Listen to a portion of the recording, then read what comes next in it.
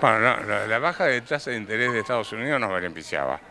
Y China hoy levantó el pie del acelerador en la devaluación de su moneda, así que yo le diría que, bueno, en este momento estamos, hoy miré un poco y estaba el mercado mucho más tranquilo, ¿no es cierto? Así que, este, que por ahora no tenemos que esperar gran cosa. Pero de cualquier manera seguimos siendo uno de los países eh, con la economía más vulnerable. Bueno, somos un país con una economía vulnerable porque tenemos una economía vulnerable por problemas estructurales, un elevado gasto público, una altísima presión impositiva, una legislación laboral que desestimula la contratación de gente, eh, bueno, en fin, tenemos una serie de problemas, por eso este, somos vulnerables, no somos vulnerables por, deporte. El, nivel de endeudamiento externo en, moneda dura eh, también es, un componente que hay que tener en cuenta.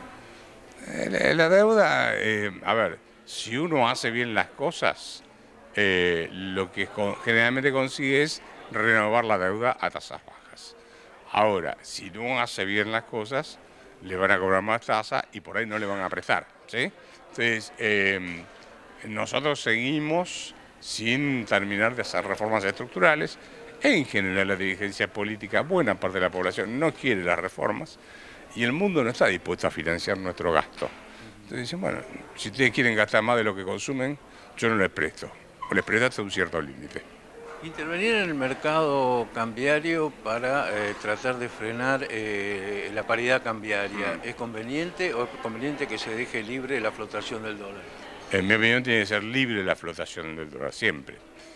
Eh, aunque sí ah, entiendo que la mayoría de los este, candidatos políticos que desde el 83 para acá hicieron todo tipo de maniobras para mantener el tipo de cambio cuando llegaba quieto cuando llegaban las elecciones. Pero no es la solución eso. El tipo de cambio tiene que quedar libre y tiene que ser estable porque la economía es fuerte. ¿sí? si usted tiene una economía fuerte, no tiene una, economía, una moneda débil. Eh, en este contexto, eh, hay gente que está hablando ya de atraso cambiario, a pesar de eh, la cotización que pegó el saltito este de esta semana. Bueno, sí, a ver, si usted vende dólares porque toma deuda y sube la tasa de interés, por definición el tipo de cambio está atrasado. ¿Atrasado respecto a qué? Al valor que tendría en condiciones de mercado libre, ¿sí?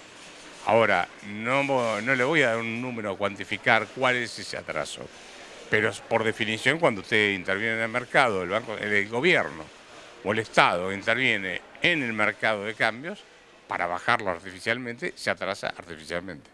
De cualquier manera lo reconoce el Banco Central al vender a futuros a 52, 54.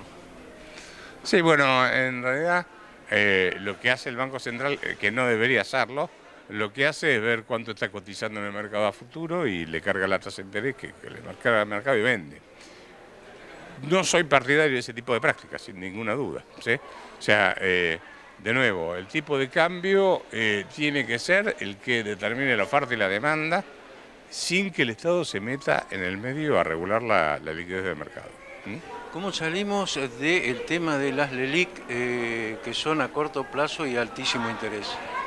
Ese es un tema muy complejo que lo voy a explicar luego, pero le digo que hay que hacer un, un canje voluntario, no, este, no un canje obligatorio, un canje voluntario de bonos, eh, porque las LELIC están a muy corto plazo y esto es un tema técnico que excede lo que es una nota periodística de estas características. Pero se puede hacer sin hacer un plan Bonex, sin hacer ninguna confiscación, sin hacer nada de eso. Se puede hacer perfectamente. Pero bueno, hay que, tomar, hay que hacerlo en el contexto de toda una política económica además. Eh, precisamente esto es lo que definimos en las próximas elecciones. Si continúa la política de Macri eh, con un pie en el acelerador, como él mismo lo dijo, o si eh, cambia el gobierno, asume Fernández y va a ser algo completamente diferente. Perdón, ¿cómo, ¿cómo, era? ¿Cómo ve el panorama con dos propuestas diametralmente opuestas? No, bueno, son dos mundos totalmente distintos, ¿no? Yo creo que el, kirchnerismo tiene más una tendencia autocrática, más allá de la parte económica. cuando usted empieza a meterse en economía y quiere dominar las variables, cada vez se tiene que meter más, más, más, más y violar derechos, eh, ya llega el punto donde se violan derechos individuales. Recuerdo usted cuando había que pedirle a la FIP permiso para comprar un dólar, ¿no es cierto? O la denuncia del viejito amarrete y ese tipo de cosas. De manera que son, estamos, ya no estamos hablando de groseros errores económicos, sino que estamos hablando de avanzar sobre los derechos individuales, que es distinto. En el caso de eh, Cambiemos, yo le diría que comete groseros errores económicos por momentos, pero no avanza sobre los derechos individuales.